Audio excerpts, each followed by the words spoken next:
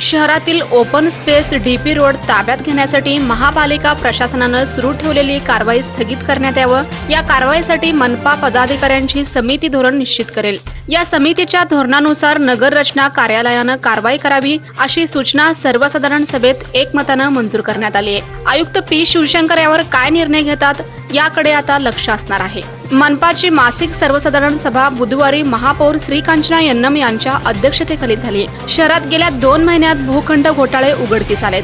Bogus layout प्रकरणी बिल्डर्सवर गुन्हे दाखल झाले. मंजूर लेआउट मधील सार्वजनिक वापराच्या जागेची ओपन स्पेस विक्री त्यावरील बेकायदेशीर बांधकामाबाबत तक्रारी केल्या जात आहेत. जागेच्या व्यवहारातील गैरप्रकारांना चाप लावण्याचा प्रयत्न आयुक्त पी. शिवशंकर करीत आहेत. या पार्श्वभूमीवर प्रशासनानं गुंठेवारी मंजूर रेखांकन अन्वये विकसित झालेल्या भूखंडाच्या मोजणीची मोहीम राबवण्याचा निर्णय घेतलाय. या मोजणीचा खर्च भूखंडधारकांकडून वसूल करण्याचा प्रस्ताव सभेच्या अजेंड्यावर होता. या प्रस्तावाला सर्वपक्षीय नगरसेवकांनी विरोध केलाय.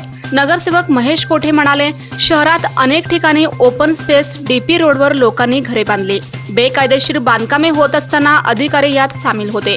अधिकाऱ्यांनी लक्ष ठेवले नाही म्हणून तर बेकायदेशीर बांधकामे वाढली. बिल्डरनं ओपन स्पेसवर बेकायदेशीर प्लॉट पाडले. हेच प्लॉट गोरगरिबांनी खरेदी केलं. महापालिकेनेच बांधकाम परवानगी दिली. आता घर पाडा म्हटले तर लोक ऐकतील का? बोगस लेआउटवर कारवाई करा. मात्र ही कारवाई थांबवा अशी मागणी करत चेतन नरोटे यांनीही प्रशासनाला धारेवर धरलं.